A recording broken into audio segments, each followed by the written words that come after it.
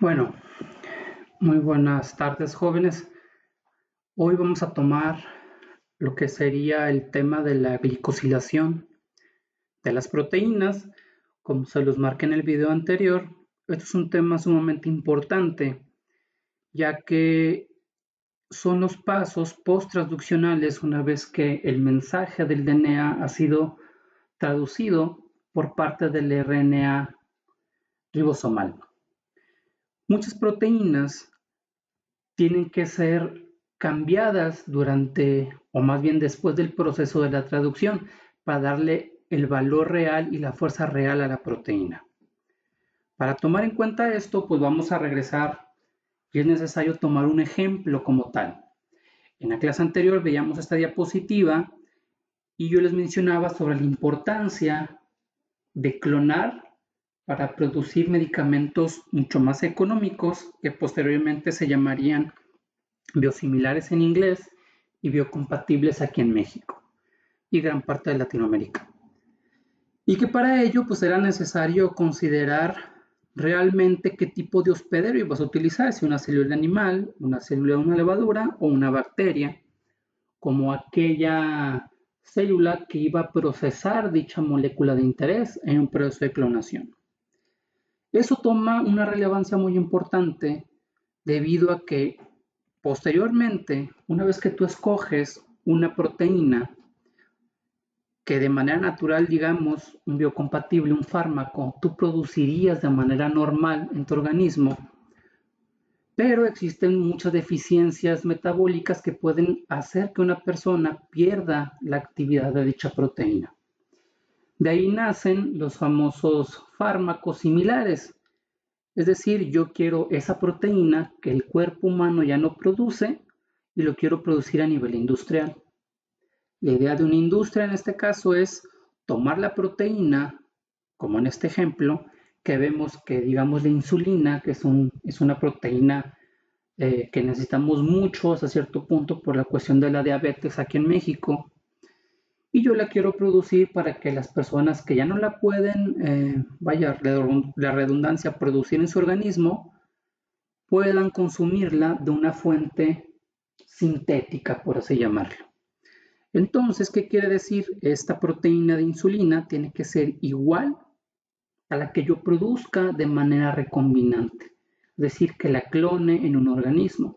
Y para esto, esa similitud tiene que ser prácticamente como una huella digital una con respecto a la otra. ¿Qué significa esto? Que la actividad de la molécula natural, en este caso de la insulina, sea prácticamente idéntica a la que tú produzcas de manera recombinante, como también algunas características físico-químicas, la cuestión estructural, que esa es la parte que, compete al tema de, la, de esta cuestión de la glicosilación, que sea heterogénea en su composición molecular, que sea prácticamente igual, para que puedas lograr una pureza similar en el proceso de extracción y por ende el sistema inmunológico lo reconozca como algo propio del cuerpo. De otra manera, si yo no logro estas características antes mencionadas, pues mi sistema inmune no lo va a reconocer y lo va a atacar como algo que no es propio de mi organismo. Es por ello que la similitud de la proteína que yo voy a, sintetizar de manera recombinante tiene que ser prácticamente igual a lo que tú producirías de manera natural en tu organismo. Entonces, de ahí que la FDA, por poner un ejemplo, aquí tenemos el sistema de los anticuerpos y aquí tenemos cómo la FDA te podría aprobar un medicamento biosimilar o biocompatible y por qué no te lo estaría aprobando. Y eso es simplemente por el proceso de la glicosilación. Aquí en estas figuras geométricas pues podemos ver que cada una de ellas significa un carbohidrato en específico. Fructosa, manosa, galactosa, etcétera, etcétera. Por ejemplo, esta sería lo que de manera natural producirías en tu organismo. Esta es la composición de glicosilación que tú necesitas emular para crear un biosimilar. ¿por qué no te lo aprobaría la FDA? Te lo aprobaría si está exactamente así. Pero digamos que tú hiciste una recombinante donde obviaste ciertas características del hospedero y el hospedero te produce una proteína con ese tipo de glicosilación. Y ese tipo de glicosilación no es para nada idéntica a la que sí te aprobaría la FDA. Entonces, por ese sistema de errores, la FDA no te podría permitir la venta de un fármaco biosimilar porque tu sistema inmune inclusive lo podría localizar y eliminar, o sea, no serviría de nada. Ahora, si bien estas estructuras geométricas que les menciono aquí o que podemos ver, tienen cierto tipo de organizaciones. Están aquellas que son solamente altas en manosa, que es el único carbohidrato que, se produce, y eso es prácticamente muy común en el sistema de hospederos.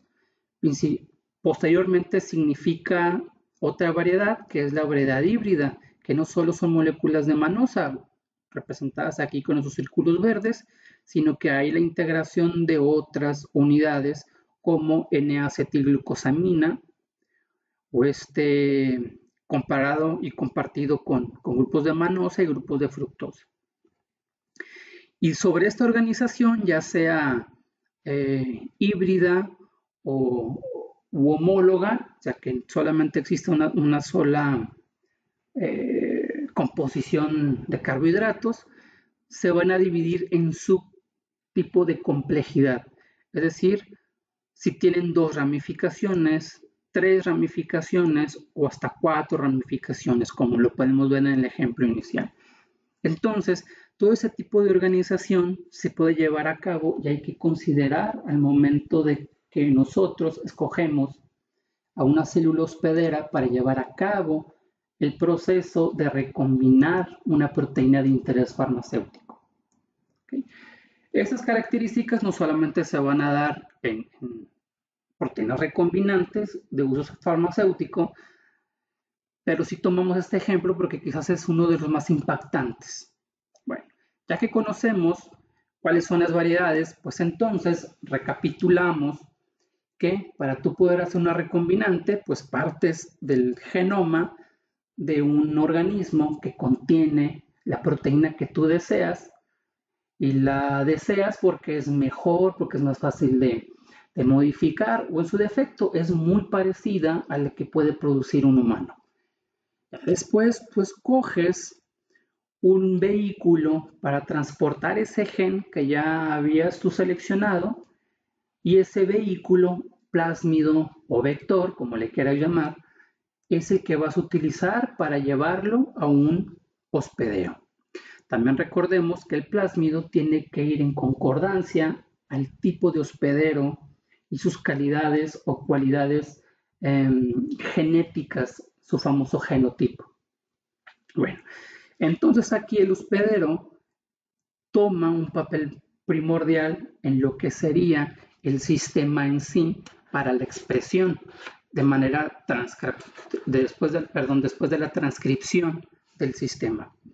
Ya podemos ir pensando en que ya tenemos una clona que realmente ya produce la proteína y en este momento en específico pues sí habría que buscar que este tipo de sistemas sí me permita hasta cierto punto tener una calidad de proteína deseada. ¿Por qué? Porque es el hospedero el que me va a decir qué tanto se va a glicosilar mi producto. En este caso, la traducción de este gen.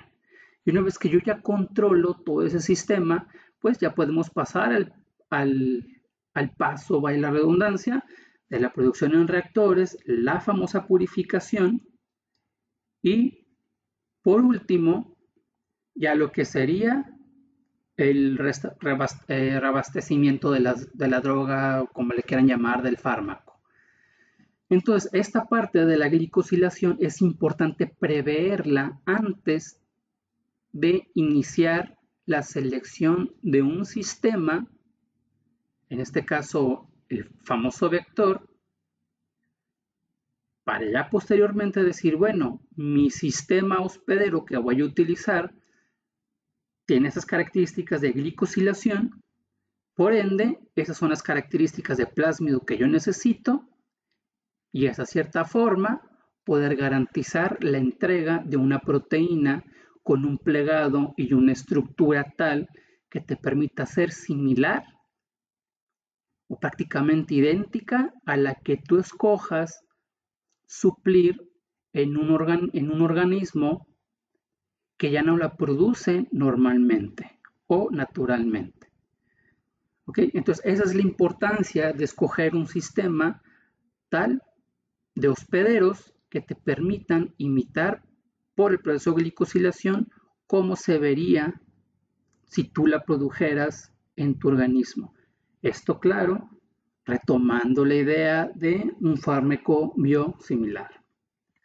Bien, ahora, es importante señalar también que dependiendo del tipo de hospedero, llámese una levadura, llámese una célula de un insecto o una célula animal.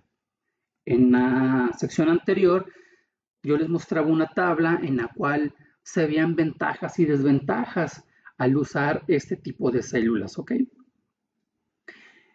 Inclusive también hay algunos fármacos que se pueden producir en células de plantas pero el sistema transcripcional, claro está, no es tan amigable como poderla producir en estas unidades de levaduras, de insectos o células animales.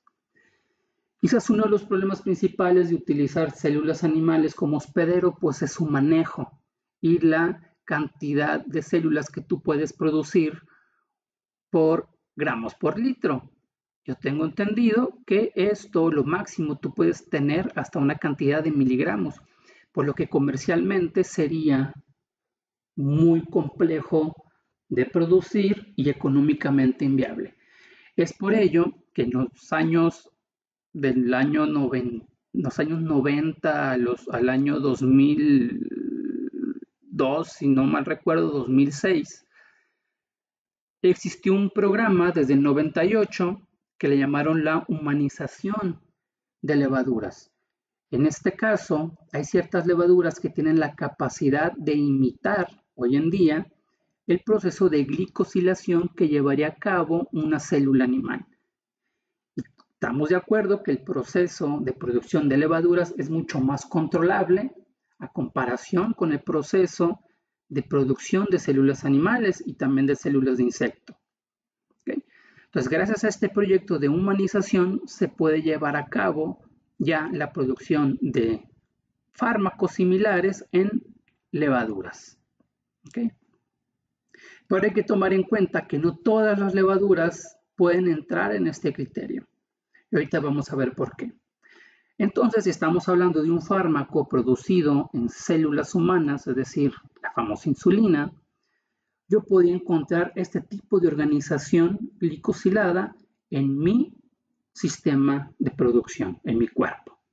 Entonces, la célula animal puede llegar hasta cierto punto, las famosas células CHO, pueden llegar a asimilar este tipo de organización. Ese tipo de organización es muy, si se dan cuenta, es muy parecida a la del humano. Sin embargo, existen sus variaciones de moléculas que componen el sistema. Pero con este proyecto de humanización en las levaduras, este sistema de organización se trató de suplir quitando, mutando, añadiendo algún tipo de enzimas que vamos a ver más adelante. Ok. Bueno. Aquí tenemos más o menos, no vamos a entrar en un detalle muy específico de este tipo de organización. Pues, porque es hasta un poquito rebuscado. Pero bueno, el sistema de glicosilación se lleva a cabo principalmente en dos organelos, retículo endoplasmático y el famoso aparato de Golgi, que lo tenemos acá. Ok. En el retículo endoplasmático, lo primero que se sintetiza es esta fracción que vamos a ver aquí y que estoy encerrando. Esa fracción se sintetiza primero y posteriormente esta fracción es añadida a la proteína de interés. ¿Cómo sabe nuestro sistema qué proteína debe ser glicosilada? Porque existen señales peptídicas que nos permiten ver esta opción. Uno de ellos, por ejemplo, es la asparagina, seguido posteriormente de cualquier otro tipo de aminoácido, seguido de la serina y por último una treonina. Esta es la secuencia que podemos ver aquí que nos indica que es muy probable que la proteína que yo estoy buscando, sintetizando en su secuencia, pueda ser hasta cierto punto glicosilada por esta fracción. Entonces, una vez que la proteína entra al retículo endoplasmático, esta organización de carbohidratos se va a añadir a tu proteína mediante la secuencia asparagina serina, trionina. Recuerden que siempre debe haber un espacio para cualquier tipo de aminoácido. Y en esta organización al inicio vamos a tener esto, es decir, nueve unidades de manosa, que vemos aquí de diferente organización, beta 1,4, beta 1,6, alfa 1,3, alfa 1,2, etcétera, etcétera. Y esta organización me va a decir si es binaria, es decir, de dos unidades, terciaria, cuaternaria, etcétera, etcétera, como vimos anteriormente. Y aquí están las moléculas que permiten que posteriormente esto sea procesado. Y de la característica inicial que obtuvimos en la adición de la glicosilación, posteriormente dentro del mismo retículo endoplasmático, la molécula va a ser reducida, es decir, voy a quitar moléculas de glucosa que se pusieron aquí y en esta otra sección ya no la tenemos. Además, está disminuyendo el número de monómeros de manosa de 9 a 8. ¿Ok? Entonces, la estructura es preprocesada para posteriormente ser pasado al aparato de Golgi. En el aparato de Golgi, posteriormente va a ser nuevamente procesado para yo poder obtener esta organización. ¿Ok?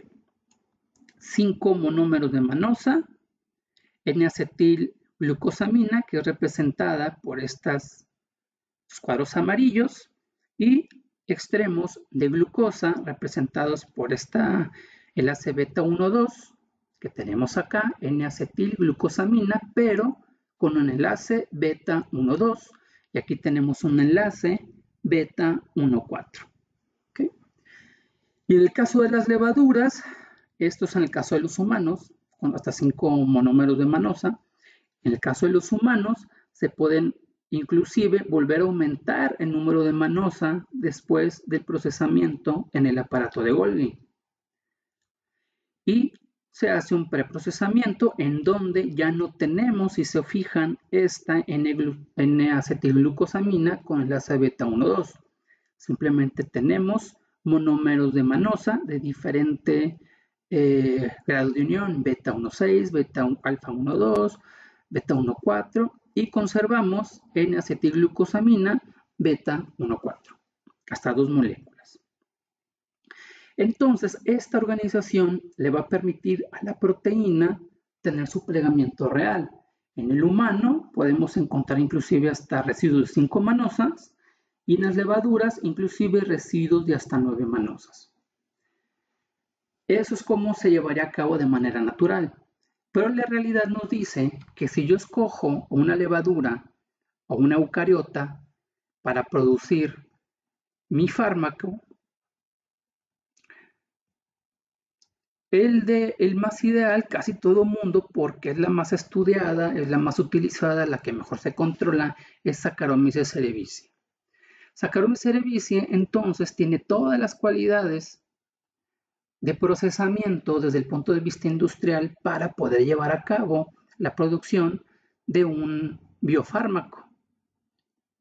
En este caso, biosimilar. Bien, sin embargo, Saccharomyces cerevisiae es reconocida por ser una, un hospedero hiperglicosilador. Eso significa que va a poner cantidades exorbitantes de residuos de manosa, como se ve en, esta, en este proceso. De manera inicial, pues decíamos que en el retículo endoplasmático se veía esta organización. Para que una vez que ya pasa por el retículo endoplasmático y al aparato de Golgi, esta organización termina en este monstruo que va desde 9 hasta 100 residuos de manosa. Entonces, esta característica hace inviable que Saccharomyces cerevisiae pueda producir una proteína biosimilar. Ya que digamos, si es la, la famosa insulina, yo necesito, según lo que vimos anteriormente, hasta residuos de 5, perdón, de 3 a 5 residuos de manosa.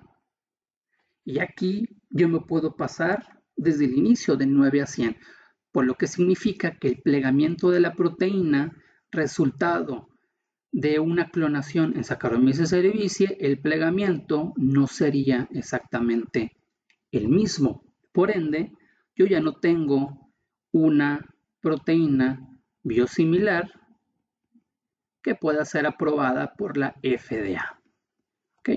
Este sueño simplemente se acabó. Es por ello que se generó ese famoso proceso de humanización de células.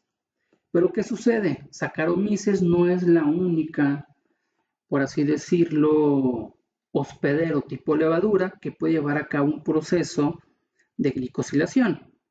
En este caso, también podemos poner a Pique pastori. Pique pastori es por ende una de las más utilizadas como hospedero en la producción de este tipo de proteínas biosimilares. Aquí tenemos de nuevo en el sistema reticuloplasmático una célula de mamífero, cómo comenzaría en el momento en que hay unión, aquí hay cinco residuos, y ya posteriormente, antes de salir del retículo termina con una de manosa de tres unidades. Y posteriormente en el aparato de Golgi se lleva a cabo este proceso para llegar a esta organización,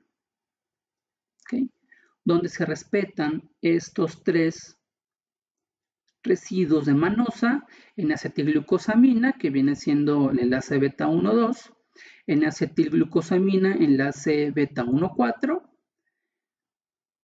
y el famoso ácido N-acetil neurámico, ¿ok? que también es importante para la estabilidad de la proteína. Entonces, Pica Pastori puede llegar, inclusive, empezar igual al artículo plasmático con 5 residuos de manosa, posteriormente terminar con 3, como lo vemos aquí, y el proceso de humanización le permitiría generar la misma molécula inicial. Es decir, este resultado, en el caso de yo buscar un hospedero, eucariótico humanizado,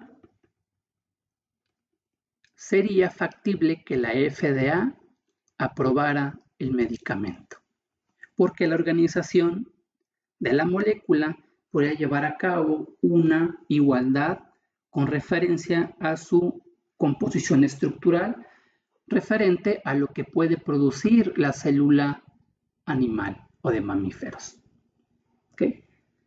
De ahí la importancia de este tipo de organización y de este tipo de sistemas de glicosilación. Entonces, el escoger un hospedero ya no es solo cuestión de que pueda embonar con la organización del plásmido, en este caso del vector, sino también la idea del hospedero es, ¿puede glicosilar?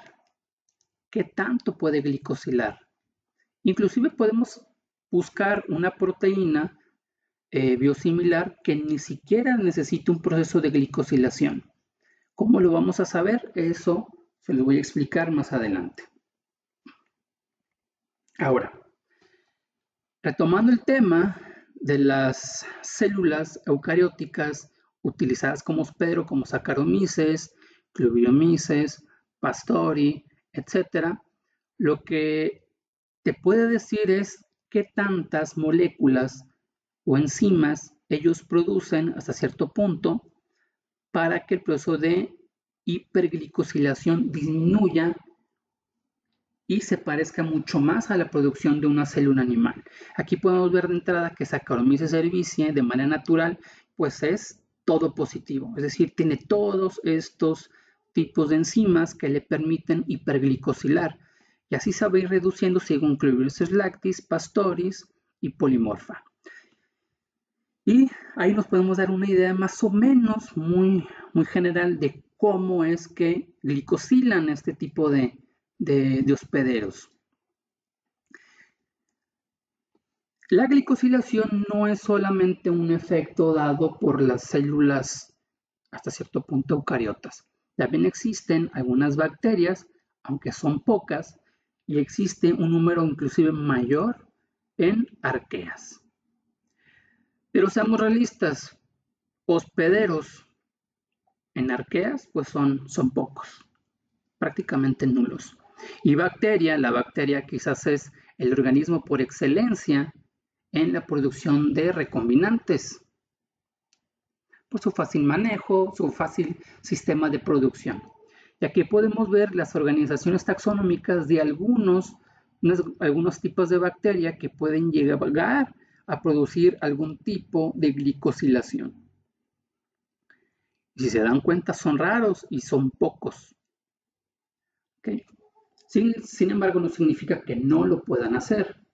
Ahora, la característica de las bacterias y las arqueas con respecto a lo que puede hacer una eucariota, existen algunas diferencias.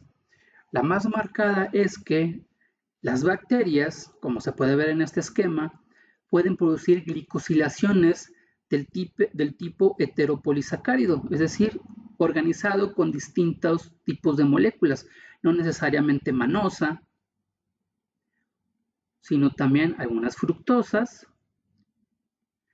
y N-acetilglucosamina.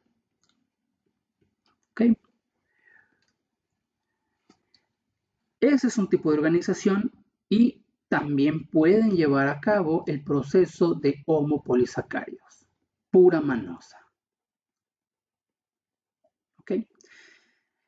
Además de eso, el tipo de glicosilación se clasifica según su línea de anclaje, es decir, N-link o, vaya, O-link.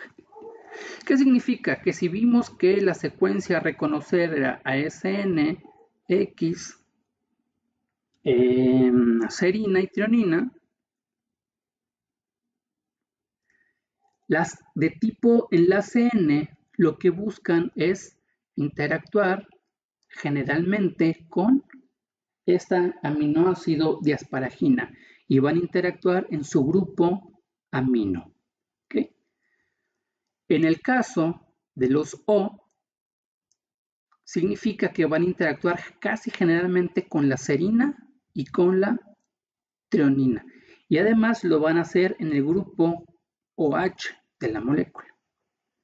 Es por ello que aquí en la organización se puede ver una O con treonina, otra, otra con serina y en algunos casos casi siempre nulos con asparagina.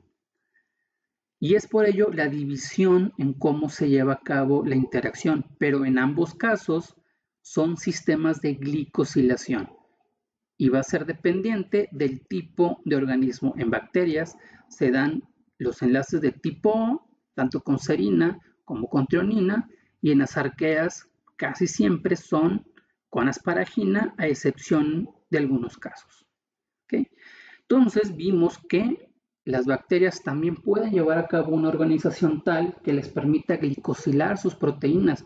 Por eso es importante checar que cuando tú vayas a querer tomar un gen, este gen no tenga la necesidad de ser glicosilado.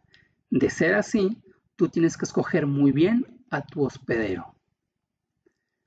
Ok, espero que haya quedado claro esta parte para poder seguir a lo que sigue qué tipo de proteínas se tienen que glicosilar hasta cierto punto. Bien, casi siempre las proteínas que se glicosilan tienen función de superficie en membrana. Y nosotros sabemos que hay proteínas que están embebidas en membrana, voy a tratar de dibujar una membrana, el péptido, y estas a su vez tienen una estructura que les permite interactuar con la superficie.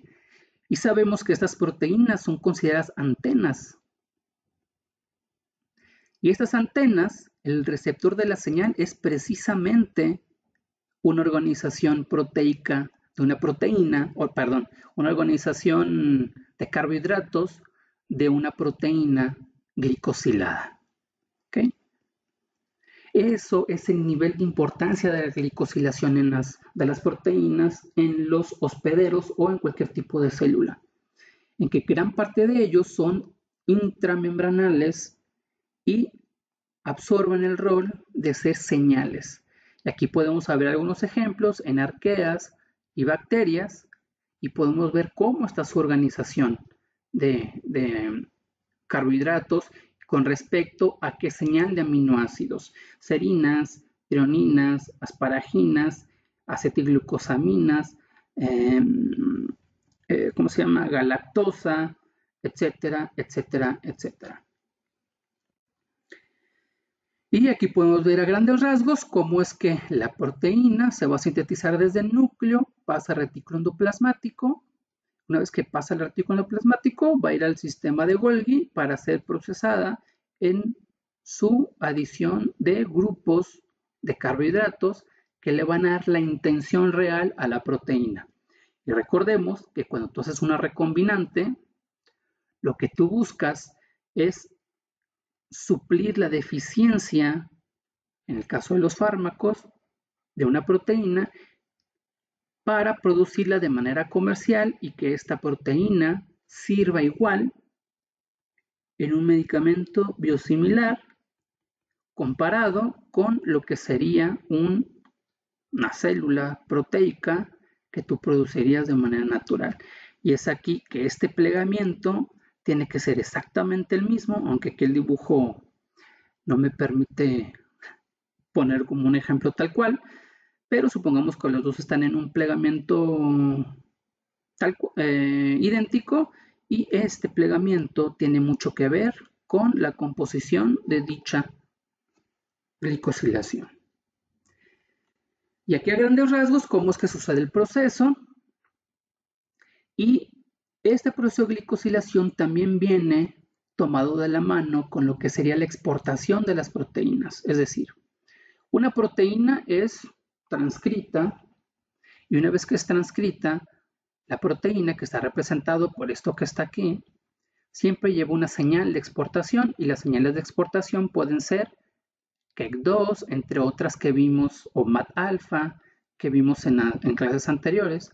Entonces, esta señal es reconocida por una proteína que lo que hace es romper este enlace. Una vez que rompe el enlace, la proteína entra y la señal sale. Y una vez que entra el retículo endoplasmático, ya es procesado el sistema de la glicosilación siempre y cuando la proteína que estamos metiendo aquí tenga que ser glicosilada. El paso de exportación se va a llevar sí o sí, tal cual está aquí, aun cuando no sea necesario glicosilar una proteína. ¿Y qué me va a decir que sea glicosilada? La señal que les mencionamos anteriormente. Si estas señales no se repiten en la secuencia del aminoácido de la proteína, pues entonces no hay peligro de glicosilación y el proceso va a pasar sin ninguna modificación. Pero bueno, si es necesario glicosilar, aquí se va a llevar a cabo todo el proceso, pasa al aparato de Golgi, donde se humaniza hasta cierto punto o se lleva a cabo la refinación de la señal para crear una proteína que posteriormente es encerrada en una vesícula. Esta vesícula se une a la membrana, se forma este complejo y la proteína sale exportada hacia el sistema. ¿Qué pasa cuando la proteína sí debe ser glicosilada y no se glicosila de manera correcta en el sistema del retículo endoplasmático y el aparato de Golgi. La proteína se procesa, una vez de su procesamiento se checa la calidad de no ser la necesaria, se forman gránulos y el gránulo hasta cierto punto tiene una señal que se le adhiere de una claritina y nos vamos a un lisosoma y el lisosoma degrada toda esta estructura para posteriormente todos los aminoácidos que componían a esto que salió mal se reciclan dentro del sistema celular.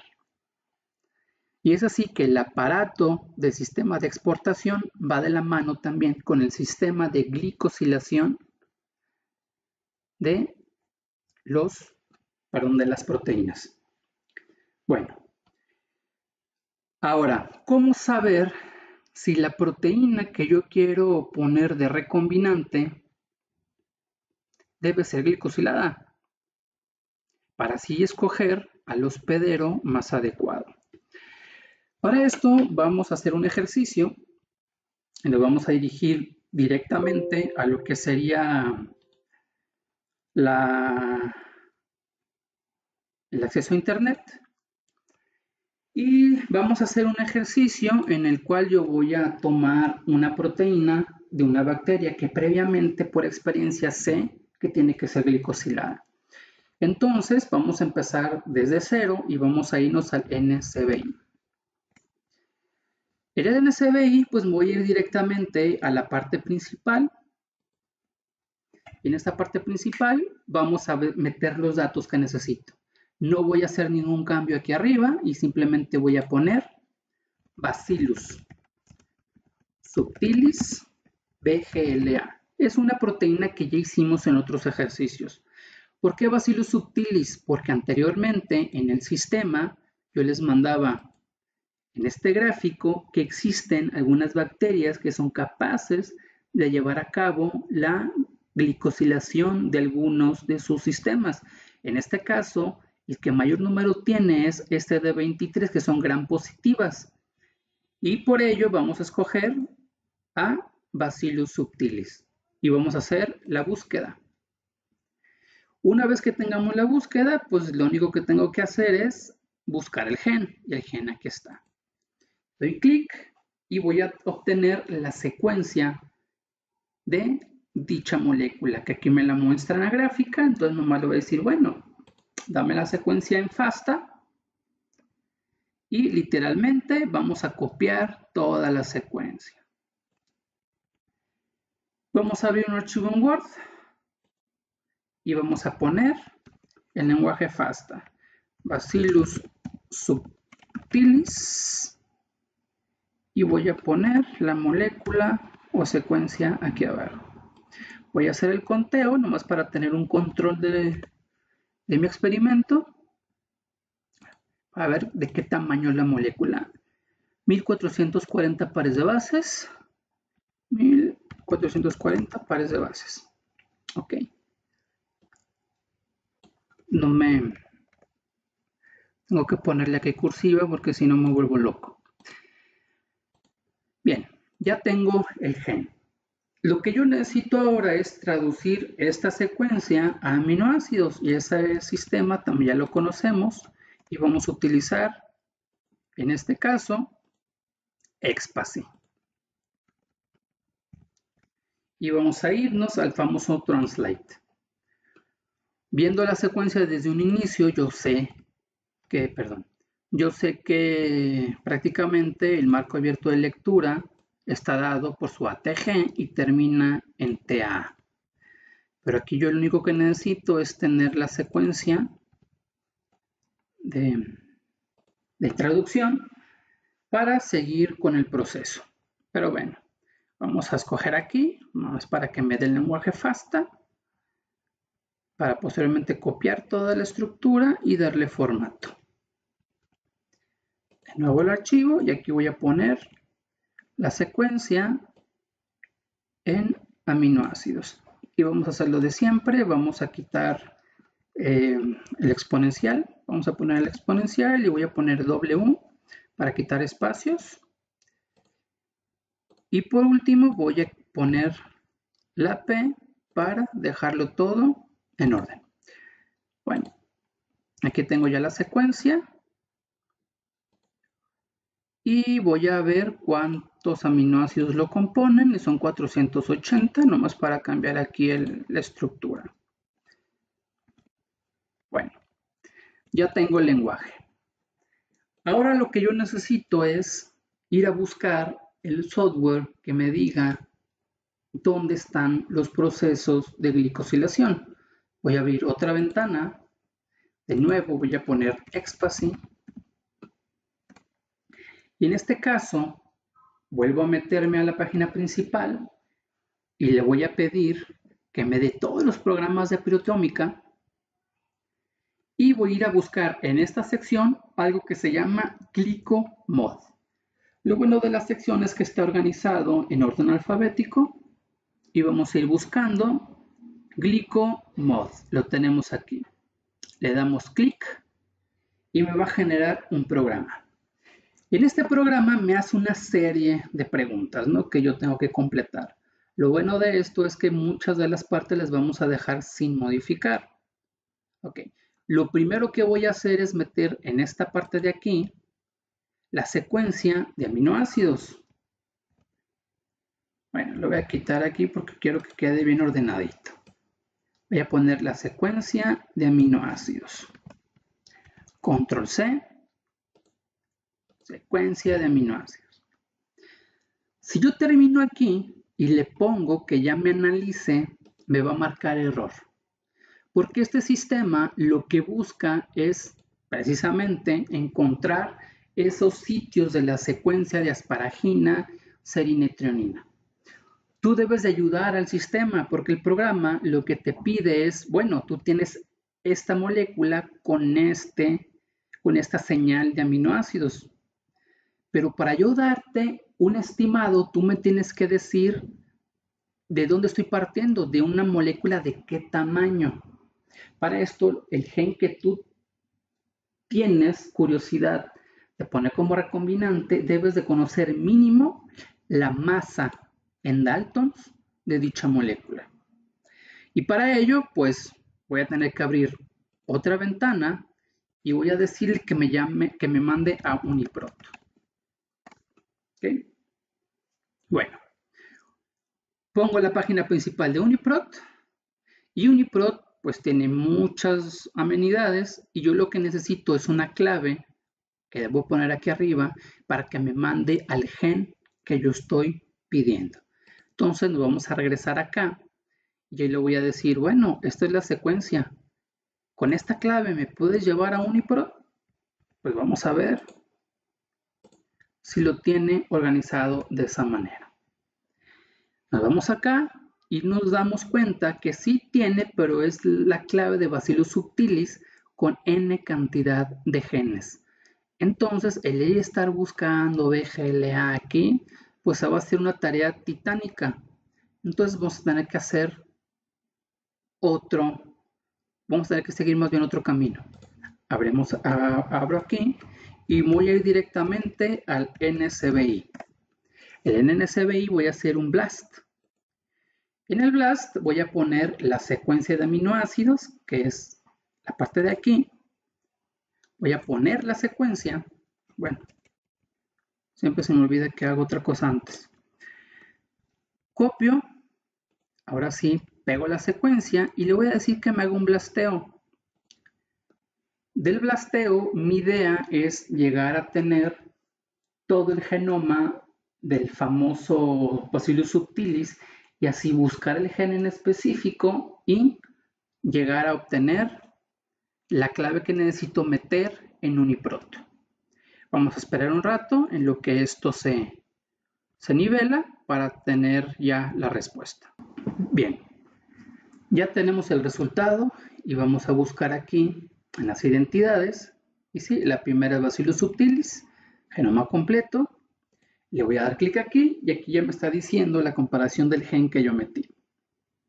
Entonces, si yo me voy a buscarlo directamente al genoma, yo debo de tener en consideración la ubicación de la secuencia para no meterme en problemas. Entonces, vamos a copiar la primera fracción y para posteriormente meter la fracción que ya nos hace falta, que es donde termina la proteína, que son 4.119.463. Bueno, entonces vamos a irnos a la famosa secuencia del genoma y vamos a pedirle hasta cierto punto que me mande a la sección donde tengo el gen de interés. Por ende voy a abrir aquí arriba y le voy a poner, primero voy a pegar la fracción que ya conozco y posteriormente poner 4.119.463. Listo. Y en teoría me debe de llevar inmediatamente a lo que sería el gen de interés. Y aquí lo tenemos. El ID que yo necesito para meter a Uniprot es el que me marque el, la secuencia completa y va a ser prácticamente este número de aquí arriba. Vamos a ver si este es el que me está obedeciendo y me está diciendo que, perdón, es esta secuencia de referencia, me equivoqué. Esta secuencia de referencia la voy a meter en Uniprot a ver si me da la respuesta que yo necesito. quitamos esto de aquí, le damos Enter y vamos a ver. Listo. BGLA, Bacillus subtilis, el nombre y el link que le corresponde a esta unidad de procesamiento llamado Uniprot. Le doy clic aquí y me va a mandar a todos los datos que ustedes ya conocen. Cómo es que funciona, dónde están sus sitios catalíticos, sus moléculas que hacen toda la acción. Y lo que a mí me, lo que yo necesito es el dato de los Daltons, del tamaño de la molécula.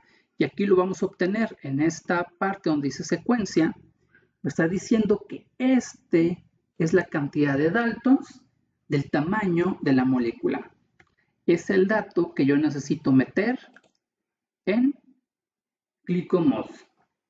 Recordemos que ya hemos puesto la secuencia. Ahora lo que yo le voy a decir aquí es, ¿sabes qué? La masa que yo manejo es de 54.841 Daltons. ¿Qué quiere decir? Glicomod va a buscar las secuencias de asparagina, serina y trionina capaces o regadas en tu secuencia de aminoácidos. Pero te va a decir qué tantas pueden haber o qué tantas no pueden haber según el tamaño molecular que tú le metiste. Es decir, si este te predice que puedes meter nueve, porque hay nueve lugares en esa combinación de aminoácidos de asparagina, serina y trionina, si esos nueve se pasan del tamaño molecular, es físicamente imposible que sea la combinación de glicosilación probable que se vaya a presentar en tu molécula. Por eso les repito que Glicomod es un sistema predictivo. Entonces, esta es la masa que yo voy a manejar y yo le voy a decir, ¿cuál es tu masa de tolerancia? Pues exactamente la misma. Control V.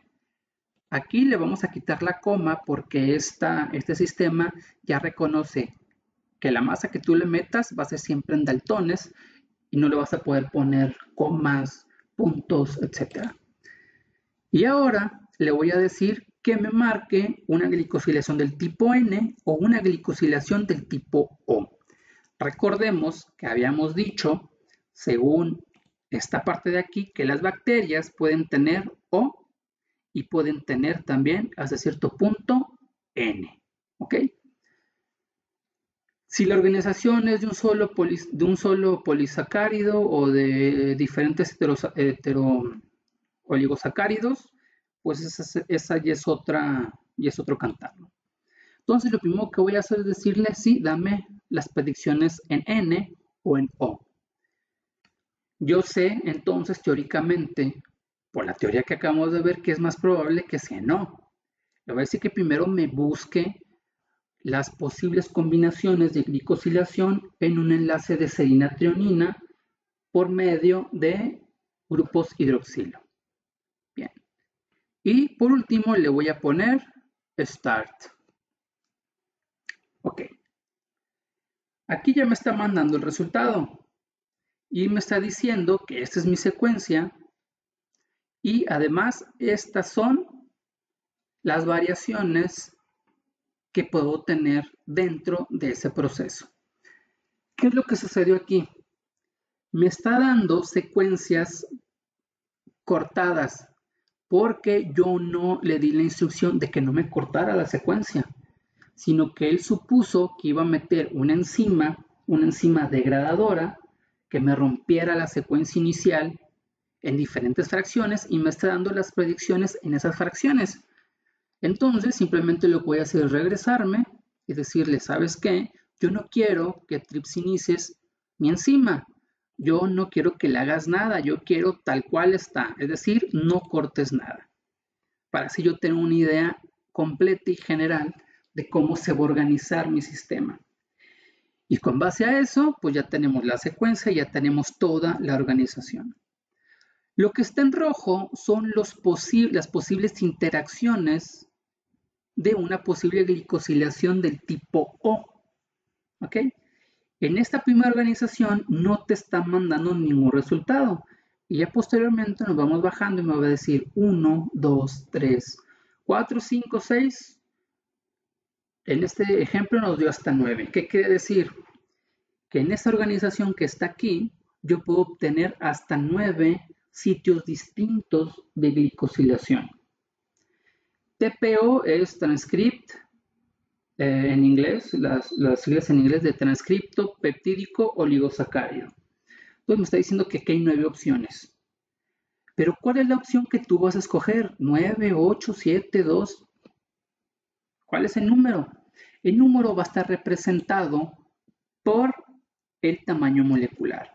Tu tamaño molecular fue de 54.841 daltons. ¿Estamos de acuerdo? Esa es el tamaño de tu molécula. Por ende, en la predicción que tenemos aquí, yo no me debo de pasar de ese dato y ese dato va a estar reflejado aquí. Eran 54.841. Mi proceso de glicosilación puede estar de aquí hacia arriba. ¿Por qué? Porque aquí yo no me estoy pasando del 41, 54.838. Si yo me bajo aquí, ya me estoy pasando del tamaño molecular base de mi estructura. 54.854 y mi molécula es 54.841. Entonces, mi predicción va desde aquí hacia arriba. Lo máximo que yo puedo tener de glicosilación son dos fracciones glicosiladas. Puede ser una, sí, puede ser una o puede ser nula. ¿Ok? Pero en todos los casos yo tengo interacciones y lugares en el cual se puede llevar a cabo la glicosilación. Pero por teoría yo sé que mi gen le pertenece a Bacillus subtilis.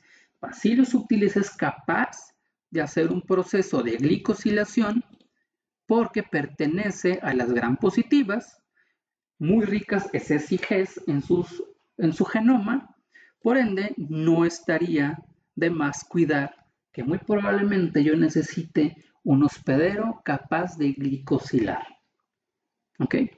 Lo mismo podemos hacer ahora con la predicción y en vez de que me vea enlaces O, me vea enlaces del tipo N. No cambio esto, ni cambio mi límite de tamaño molecular, como tampoco eh, la masa de tolerancia, que es prácticamente la misma que pusimos acá. Le sigo diciendo que no me corte la estructura y nos vamos de nuevo al desarrollo y vamos a darnos cuenta que al final tenemos prácticamente la misma lectura, pero con sitios de acción más pequeños. Igual, lo máximo que me, que me estima son nueve, nueve glicosilaciones, pero nos seguimos guiando por este tamaño molecular en el cual yo estoy en 54.841 daltons y lo mismo, 54.838 hacia arriba. Lo que quiere decir, se repite la idea de que mi máximo son dos unidades de glicosilación, dos fracciones de glicosilación. Es decir, puede ser este sitio o este sitio este o este, este o este otro. O, si, o quizás solamente un sitio de glicosilación que puede estar aquí, aquí o aquí. O en su defecto, nada. Pero ¿qué pasa si yo no tomo la decisión de tomar un hospedero de mi gen recombinante que no glicosile de manera correcta? Entonces ya estoy perdido. Yo tengo una alta probabilidad de que mi recombinante no tenga las mismas capacidades proteómicas o proteicas, ni siquiera la actividad de la famosa enzima BGLA. Bueno, por mi parte es todo por el momento. Espero todo haya quedado claro y nos veríamos en una próxima sesión. Hasta luego.